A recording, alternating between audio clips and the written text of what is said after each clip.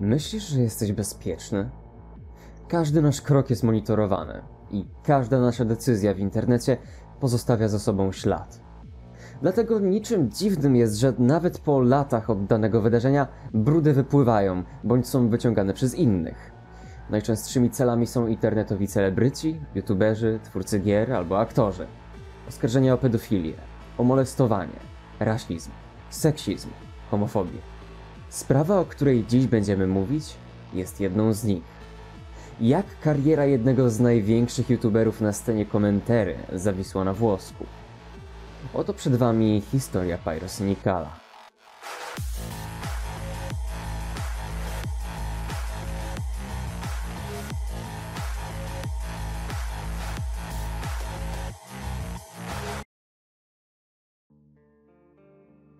Pyrosynikal.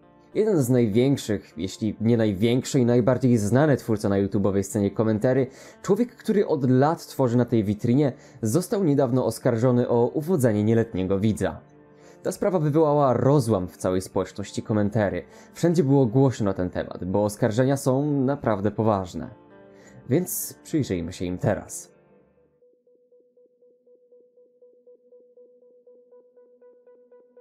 29 października użytkownik Twittera Ivory Rasmus napisał oświadczenie o tym, że 4 lata temu Pyrocynical nawiązał z nim relację opierającą się na wymianie wiadomości, często bardzo jednoznacznych. W momencie, w którym Ivory miał 15 lat, a Pyro 19. Ivory mówi, że dotychczas czuł się bezsilny, ale myślał o zdarzeniu non-stop. Powołuje się na zrzuty ekranu, które udowadniają winę Pyro. YouTuber miał ponoć wysyłać mu pornograficzne grafiki o różnej tematyce, jednocześnie prowadząc z chłopakiem erotyczny roleplay, przepełniony scenami zawierającymi fetysze i dosadne opisy przeróżnych czynności. Wielu zaczęło wątpić w prawdziwość oskarżeń, ze względu na niedostępność wspomnianych screenów, jednak Ivory szybko rozwiał wątpliwości. W załączonym do jednego z jego tweetów linku znajdowały się screeny konwersacji Ivory'ego na Discordzie z użytkownikiem, którego konto zostało usunięte. Tak jak Ivory opisywał w swoich poprzednich tweetach, w konwersacji znajdowały się grafiki pornograficzne, w tym rysunki nawiązujące do twórczości Pyrocynikala, jak i same jego filmy. Każdy, kto oglądał Pyro od jakiegoś czasu, zdaje sobie sprawę z istnienia memów o tym, że Pyro to furas i pociągają go różne rzeczy nawiązujące do tej subkultury.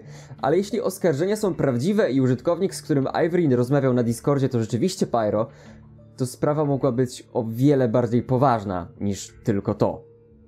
Nie oszukujmy się, dla większości z nas konwersacje o bekaniu i pierdzeniu, a także pożeraniu seksualnych partnerów są co najmniej dziwne.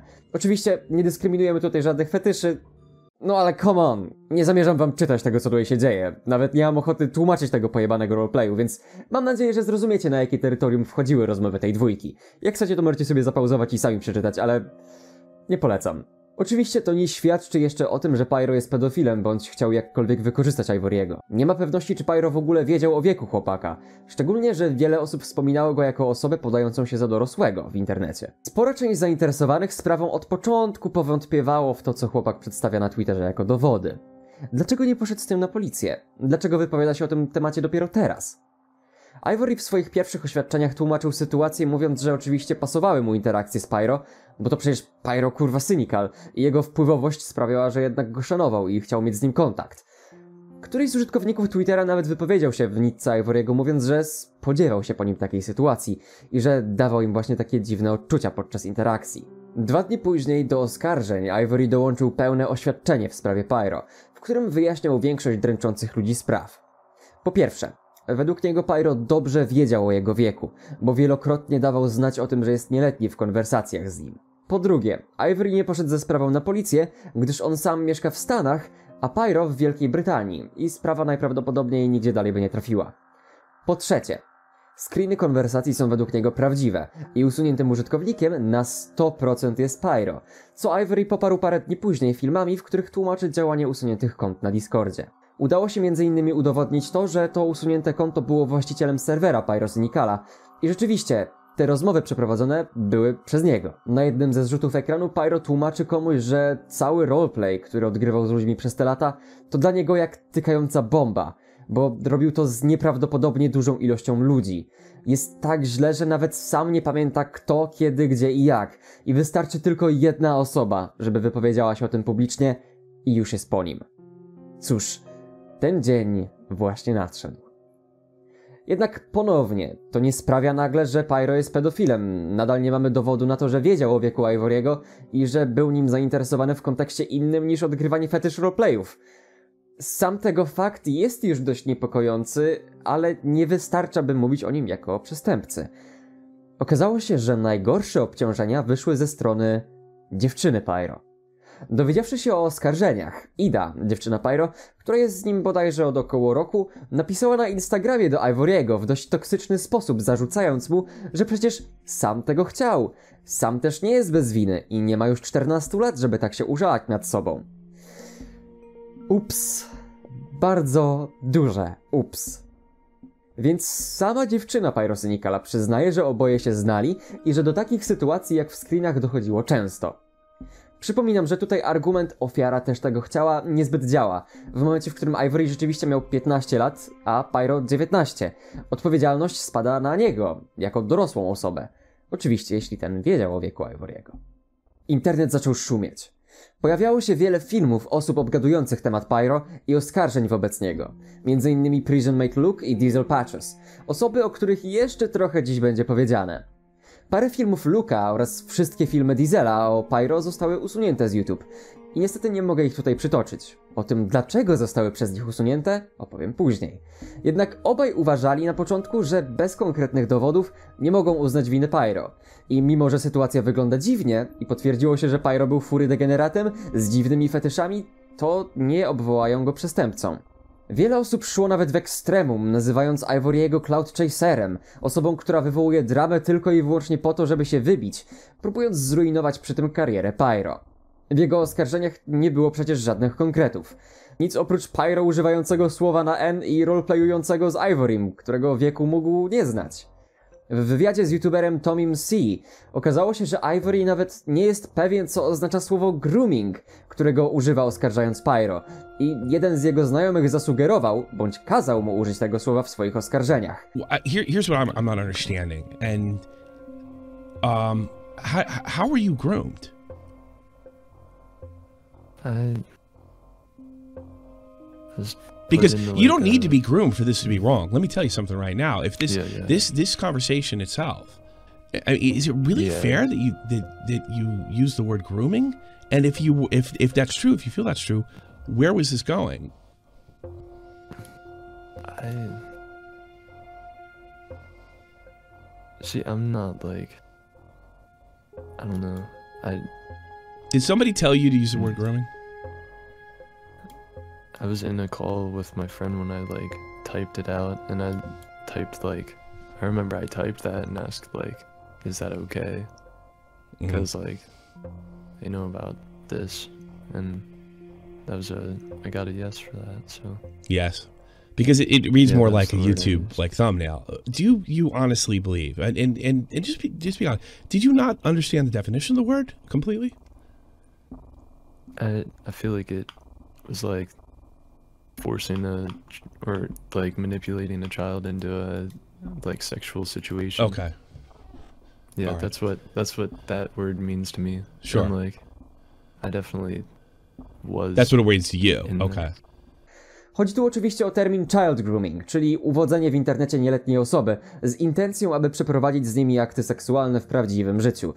Okazuje się, że Ivory nie czuł ze strony Pyro żadnych podtekstów seksualnych kierowanych do jego osoby. Dla niego to był zwykły roleplay i nic więcej.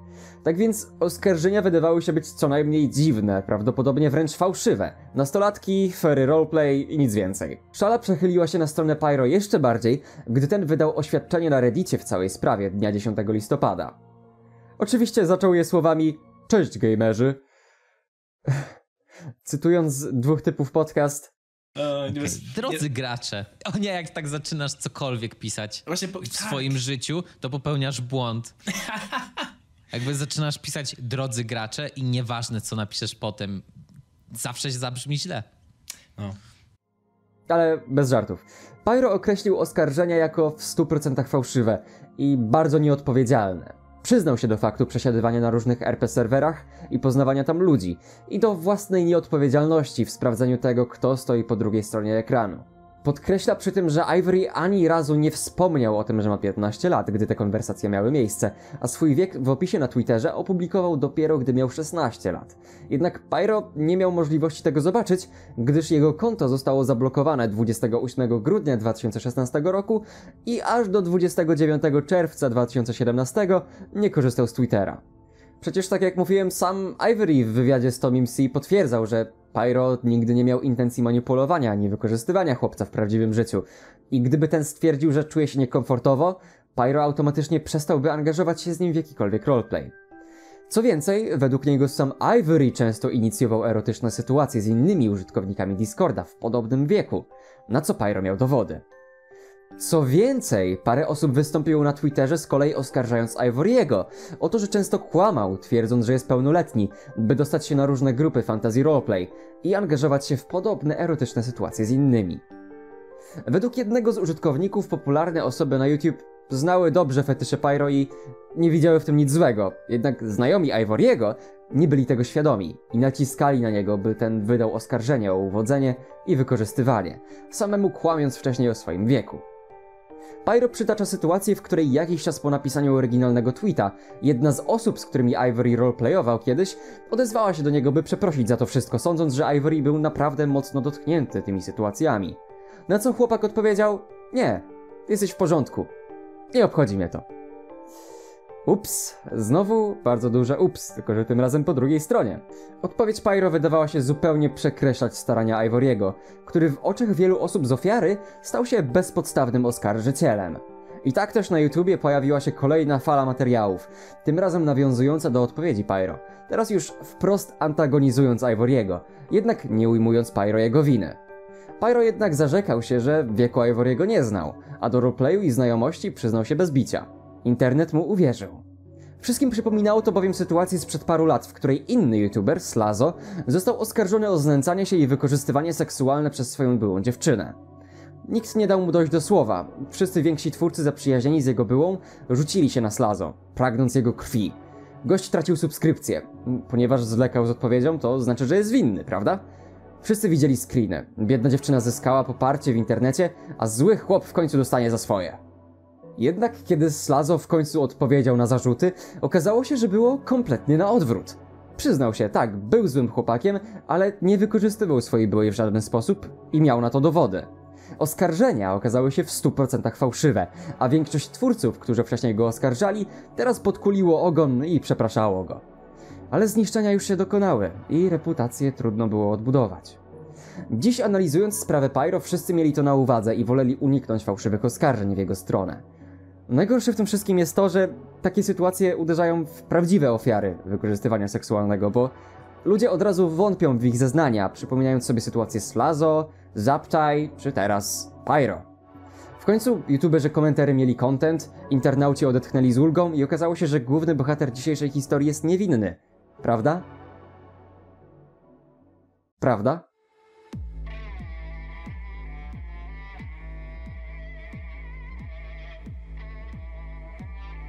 1 grudnia youtuber o pseudonimie Turkey Tom wypuścił na swój kanał materiał o nazwie Kłamstwo Pyrosynikala. Wyjaśnienie sprawy. Oglądałem Toma już od dłuższego czasu i wiedziałem, że robi czytelne materiały, dlatego zaciekawiło mnie, co miał do powiedzenia w tej sprawie. Okazało się, że było to coś, co sprawiło, że cała społeczność obróciła się o 180 stopni. W swoim filmie Tom streszcza całą sytuację i dochodzi do wniosków podobnych co reszta społeczności komentary, że Pyro to po prostu gość z fetyszami, przyznał się do wszystkiego, a Ivory zbyt rozdmuchał sprawę o małej wadze. Jednakże później stwierdza, że według niego to wszystko to nieprawda. I Pyro kłamie, a jego kłamstwo zostało pominięte przez wszystkich twórców publikujących filmy na ten temat. Fakt, przyznał się do roleplayu i to szlachetne z jego strony, ale cały jego post jest naszpikowany taktykami manipulacyjnymi, które mają zwieść czytelnika. Po pierwsze, Pyro, tak jak wspomniałem wcześniej, linkował do wypowiedzi innych osób na Twitterze, mówiących o Ivorym jako o kłamcy, który zatajał swój wiek i sam prowadził roleplay ze starszymi osobami. Oczywiście to sprytna metoda mająca na celu podważanie wiarygodności Ivory'ego, w dodatku słowami osób, które nie mają żadnych konkretnych dowodów na to, co mówią. W dodatku, huh, cóż za przypadek, że dwie z osób, które podlinkował Pyro, usunęły swoje tweety i osobiście przeprosiły za nie Ivory'ego. To wcale ani trochę nie jest podejrzane, prawda? To był przemyślany ruch ze strony Pyro, tym bardziej, że nie miał żadnych innych dowodów, żeby się obronić. W swojej odpowiedzi na fałszywe zarzuty twierdzi, że Ivory ani razu nie wspomniał o swoim wieku w konwersacjach z nim. Pomijając oczywiście wiadomości, w których dosłownie napisał, że jest nieletni, albo pomijając wiele tweetów z okresu znajomości dwójki, w których Ivory wielokrotnie pisał, że ma 15 lat. W jaki sposób osoba obserwująca go na mediach społecznościowych przeoczyłaby coś tak oczywistego? Oczywiście, o ile nie kłamie nam prosto w twarz. I to właśnie odkrył przed społecznością Tom. Coś, co było oczywiste na pierwszy rzut oka, ale nikt nie miał jaj, żeby to dostrzec. Nie, Pyro fizycznie nie wykorzystał seksualnie ani nie uwodził nieletniego. Na to póki co nie ma dowodów. Nie zrobił też nic nielegalnego, ale skłamał o tym, że nie wiedział ile ma lat jego rozmówca. A to śmierdzi na kilometr. I to kłamstwo pewnie uszłoby mu na sucho z tym całym Ivory nie wpisywał swojego wieku w opis konta na Twitterze przed szesnastką i tak dalej, gdyby nie dziewczyna Pyro, Ida, która się na niego wkurzyła i potwierdziła w swoich wiadomościach z Ivorym, że cała trójka dobrze się znała i Ida wiedziała ile Ivory ma lat. Tom w swoim materiale daje znać o tym, że zawiódł się na scenie komentary. Szczególnie na twórcach takich jak Diesel Patches czy Prison Make Look, którzy od razu rzucili się na Ivory'ego bez głębszej analizy argumentów Pyro, po prostu ufając mu w 100%. Tom dosłownie w przypływie emocji nazywa Prison Make Looka debilem za to, że w swoim filmie ufa screenom od randomowych ludzi, których przytoczył Pyro, a wątpi w prawdziwość screenów, które równie randomowo przytacza Ivory. Całe community rozsiało jedną wielką dezinformację i broniło kogoś, kto ich wykiwał prostymi sztuczkami. To, co mówił Ivory, nie było w 100% fałszywe. Jedyną minimalnie fałszywą rzeczą w jego wypowiedziach mogło być złe użycie słowa grooming, ale to jedyna rzecz, która była tam niepoprawna. Cała reszta trzymała się kupy. Pyro, dziewiętnastolatek, pisał z piętnastolatkiem, żeby zaspokoić się seksualnie. I skłamał o tym, że nie wiedział o jego wieku. To nie była sytuacja, jaką przeżył Slazo. To nie było żadnej dziewczyny zbierającej grupę youtuberów, żeby zniszczyć życie swojego byłego chłopaka. To, co pisał Ivory, nie zmieniło się i fakty, które przedstawia, są prawdziwe. Po publikacji tego filmu wiele osób zwróciło oczy ku dyskusji, którą zaczął Turkey Tom. Prison Make Look usunął jeden z filmów, w którym nazywa Ivory'ego Cloud Chaserem i wrzucił kolejny, 8 grudnia, w którym podchodzi do tematu ostrożnie.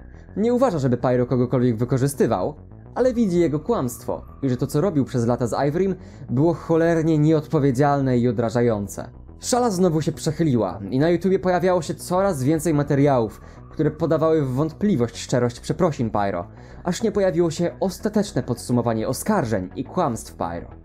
Znów autorstwa Turkey Toma. Ten bowiem 10 grudnia wypuścił kolejny film, w którym opisywał dokument, który sporządził o całej sprawie. Dokument ten ma 19 stron i zatytułowany był prosto Udowadnianie winy Pyro. Obalenie każdego argumentu. Tydzień wcześniej Ivory napisał do Toma na Twitterze i wysłał mu więcej informacji na temat jego relacji z Pyro i jego niebawem dziewczyną. Okazuje się, że Ida w 100% wiedziała o wieku Ivory'ego, co wynika z ich rozmów, w których m.in. Ivory wspomina o tym, że według niego cały ten roleplay wychodzi poza ramy zwykłych fantazji i przechodzi do realnego świata. Ida potwierdza, że według niej byłoby możliwe, by Pyro chciał wejść w relację z Ivorym, będąc w wieku 19 lat, gdy ten ma 15, jednakże prędzej byłby otwarty tylko na seks. Uff. Oczywiście dla wszystkich niedowiarków, którzy nie są przekonani, że to Ida stoi za kolejnym usuniętym kątem, oto parę przykładów. Wideo z wizyty Idy i Pyro w restauracji. Zdjęcie Idy i Pyro w odbiciu w lustrze w hotelu. Wyszukanie zdjęcia w Google nie daje nam żadnych rezultatów zwrotnych, więc jest to oryginalne zdjęcie. W tym samym pomieszczeniu dzień wcześniej Ida robiła zdjęcie i umieściła je na Instagramie. Przejdźmy teraz do trzech argumentów Pyro, które rozbija Turkey Tom. Pierwszy argument. Ivory kłamał o swoim wieku i fakt tego, że Pyro nie mógł wiedzieć ile ma lat. Żeby to jednak było prawdą, musiało zostać spełnione pięć oczywistych warunków. Po pierwsze, Pyro nigdy nie widział wiadomości, w której Ivory pisał, że jest nieletni. Po drugie, Pyro nigdy nie widział wiadomości, w której Ivory wysłał mu link do swojego Twittera z opisem, w którym był jego wiek.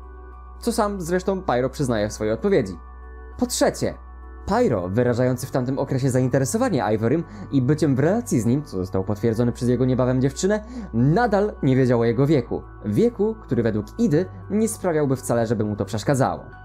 Po czwarte, Pyro nie widział żadnego z tweetów Ivoriego, w których mówi, że ma 15 lat, mimo że Pyro obserwował go na Twitterze i regularnie wchodził z nim w interakcję.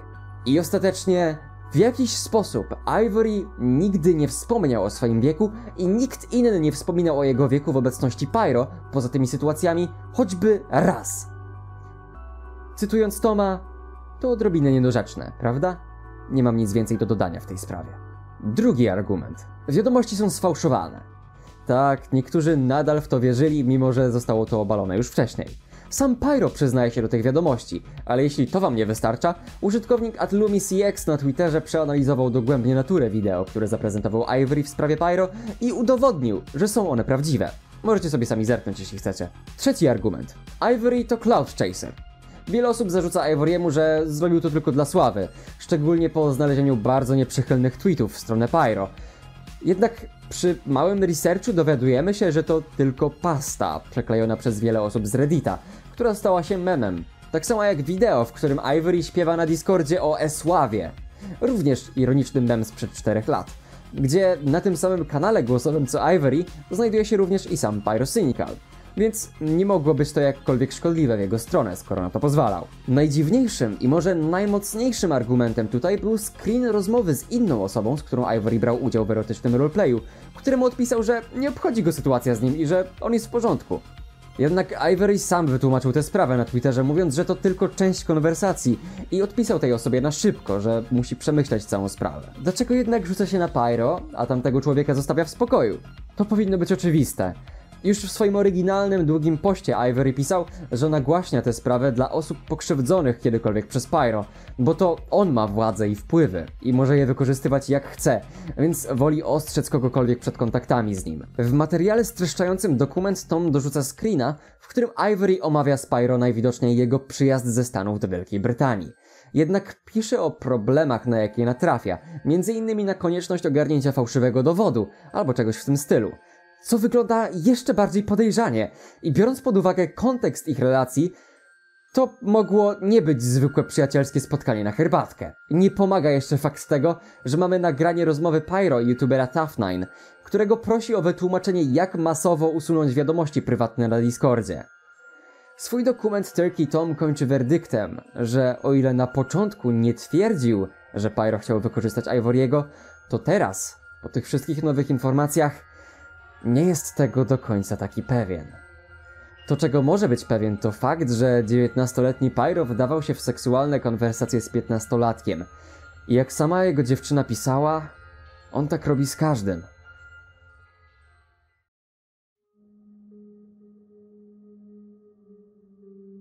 Społeczność komentarzy wrze. Ludzie po odkryciu strasznej prawdy coraz bardziej nastawiają się przeciw Pyro. Czy miał jeszcze jakąkolwiek szansę na to, żeby się obronić? Czy mógł zrobić cokolwiek, żeby uspokoić wściekły tłum?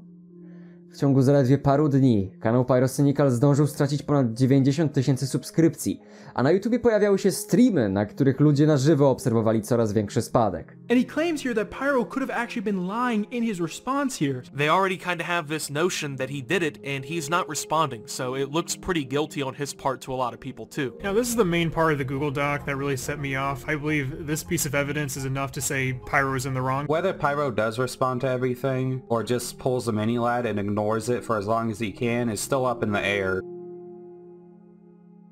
Dnia 18 grudnia na kanale Pyro pojawił się film o nazwie Moja odpowiedź, trwający 22 minuty i 32 sekundy. Było to zdecydowanie coś, czego chyba nikt się nie spodziewał. Pyro nadal stawia sprawę jasno. Wszystko, co zarzuca mu Ivory, jest fałszem, a na Reddicie już przedstawił wystarczające dowody, których się trzyma, ale przez dokument, który stworzył Turkey Tom, musi dodatkowo wyjaśnić resztę spraw. Sam dokument Toma nazywa słabo napisanym. Mówi, że nie skłamał w swoim oświadczeniu i odbija zarzuty o chwyty psychologiczne, twierdząc, że to dokument jest manipulatywny, a autor wyciąga wyssane z palca wnioski, posiadając ograniczone informacje. It's not hard to dismantle it. It's just annoying that I have to be the one to do it. Tak więc Co Pyro miał na swoją obronę wobec tak poważnych oskarżeń i kompromitujących screenów? Po pierwsze, drugi raz potwierdza, że w przeszłości brał udział w roleplayach z dosłownie każdym i nie chodziło o to, kto stał po drugiej stronie.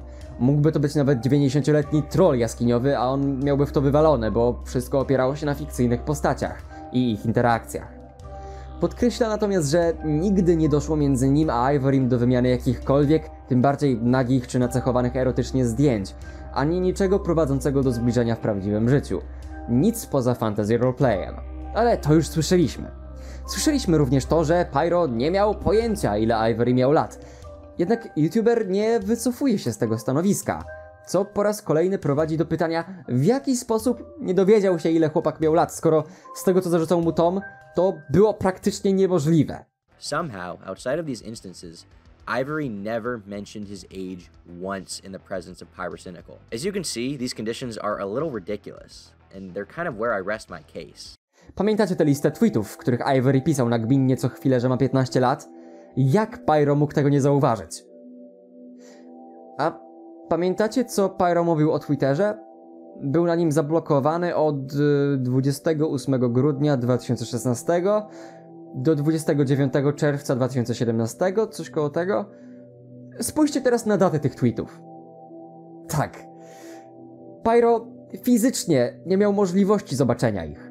Tylko jeden został napisany, kiedy konto Pyrosynicala było jeszcze aktywne. Więc, parafrazując Pyro, o wiele bardziej wiarygodne byłoby, gdyby autor zamieścił tylko ten jeden tweet.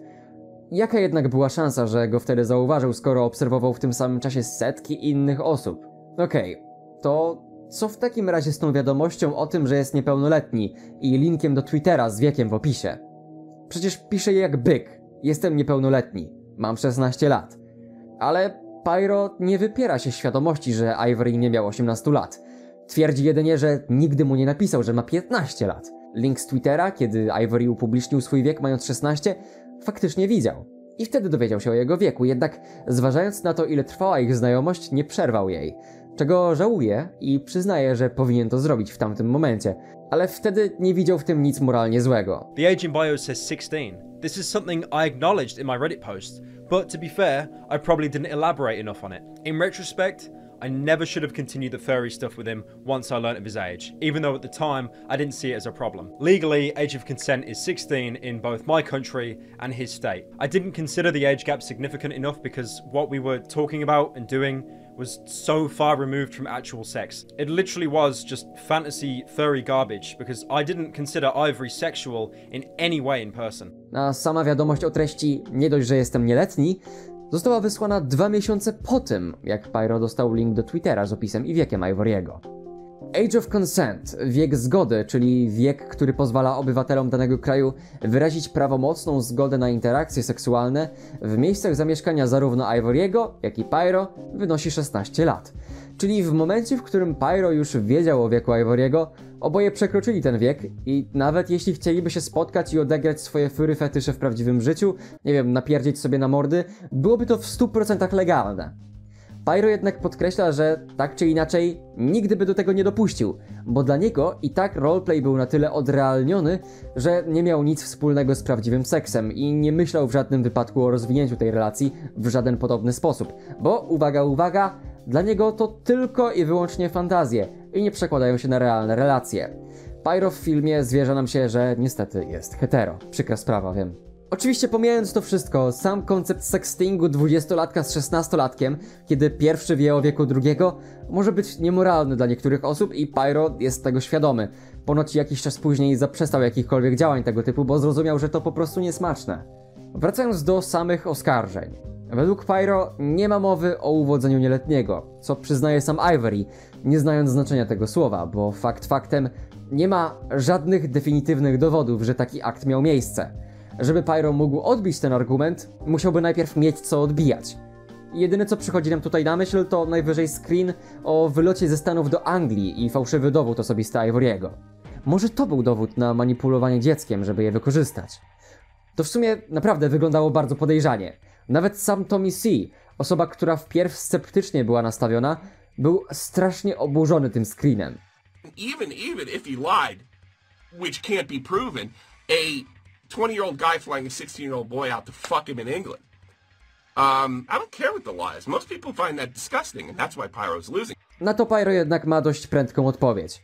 W tamtym czasie zaprosił wiele osób, części praktycznie nie znał, na wypad na piwo i dłuższą posiadówkę gdzieś w swojej okolicy.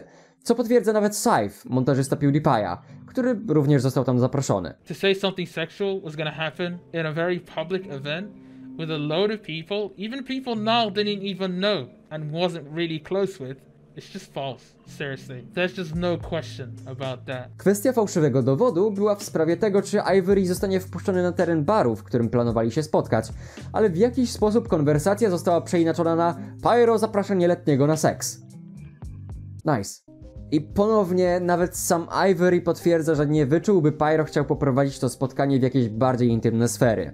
Was there any when he invited you? Was there any kind of indication that uh, it was sort of a date um, in any way? Uh, that there would be a, a wink, wink. Um, that there would be some kind of um, you know uh, date-like act with sexual interaction. Did he give you that idea at all?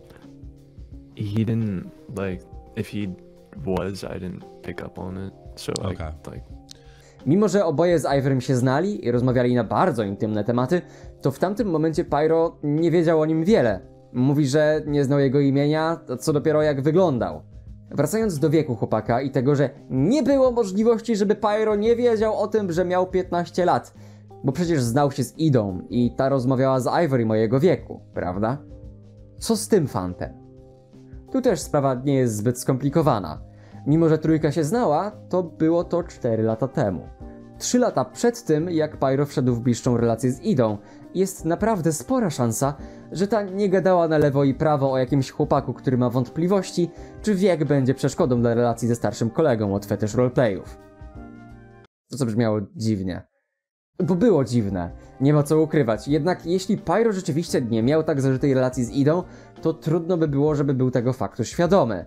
Tym bardziej, że wiele osób było przekonanych, że Ivory był pełnoletni, bo często kłamał o swoim wieku. Ale zaraz, zaraz. Czy osoba, która tak twierdziła, nie usunęła czasem swoich tweetów i nie przeprosiła za nie? Okazuje się, że pierwsza z tych osób ostatnio przyznała się, że w żadnym momencie nie przeprosiła za zrobienie swojej nitki broniącej Pyro. Przeprosiła jedynie za stwierdzenie, że wiadomości były fałszywe, a nie za to, że Ivory kłamał o swoim wieku. On top of that as well, the person who made the thread defending me recently came out and said at no point did he actually apologize for making that thread, and his words have been twisted and put in this document to be used against him. Tom zarzucał ukrywanie faktów Pyro w momencie, gdy sam zataja i wręcz przekłamuje niektóre informacje. Ale zaraz, zaraz. Przecież to Pyro usuwał wiadomości. Pytał innego youtubera o skrypt pozwalający masowo usunąć wiadomości prywatne. Przecież miał breakdown, mówiąc, że jeśli ktoś to odkryje, to jest już po nim. I to jest fakt. Według niego natomiast wyjaśnienie jest ponownie dość proste, bo po prostu nie chciał, żeby ktoś dowiedział się, że był furry degeneratem, bo w 2016 roku byłoby to równoznaczne z wyrokiem śmierci dla niego jako osoby publicznej. Pyro mówi, że nie zmienił swojej historii ani razu. Twierdzi, że nie próbuje niczego ukryć i dziwi go, że to akurat jego na celownik bierze Ivory, szczególnie, że jeszcze miesiąc wcześniej rozmawiali jak przyjaciele. I did fuck up. There is no excuse, and I am sorry for that. But I am not a groomer or a predator, and documents like these only try to show one side and build a narrative that I'm a liar when I have never actually changed my story from my original post. My mistake, if anything, was not being clearer. I have never tried to hide anything. W dodatku w momencie, kiedy ktoś inny przepraszał Ivory'ego za roleplay sprzed lat, ten stwierdził, że go to nie obchodzi. I dodanie przez niego kontekstu, w którym pisze, że potrzebuje czasu, żeby to przemyśleć, nie dodaje nic do tego, ani nie usprawiedliwia jego targetowania Pyro, choć ten rozumie, że ma wpływy i jest o wiele bardziej potencjalnie niebezpieczną osobą w tym kontekście. Pod koniec Pyro jeszcze raz wyraża swoje zniesmaczenie dokumentem Toma i tym, że pod koniec porównał go do Red Kiwis, twórcy, który w wieku 19 lat świadomie wymieniał się nagimi zdjęciami z 14-latką. Wyparł się tego i skłamał na ten temat, a jego wytłumaczeniem było nie powinienem był ufać tej dziewczynie. To już przesada. Według Pyro autor dokumentu nie jest nawet na tyle odważny, żeby określić go jako osobę, która chciała zmanipulować nieletniego, ale zostawia na tyle dużo miejsca, by ludzie sami się domyślili, że tak właśnie uważa, bez mówienia tego wprost, mimo że sam dokument nosi nazwę Udowadnianie winy Pyro. Kończąc swoją odpowiedź, twórca przeprasza Ivory'ego i inne osoby, z którymi roleplayował i które mogły czuć się dotknięte tym faktem. Now, I do want to directly say something to Ivory and apologize to him and to anyone else that I did the furry roleplay garbage with. What seemed consensual and reciprocal may very well not have been. It's not my place to decide. It happened. It was my responsibility to verify age, and I never did, and I am sorry for that. Dostajemy od niego krótkie podsumowanie. If your accusation is solely Pyrocynical is a complete degenerate and should have not had these conversations with someone that he didn't realise was 15, you win. I can't dispute that. But if you've either insinuated, contributed, or directly called me a paedophile who groomed someone knowing that they were 15, that is a completely false claim.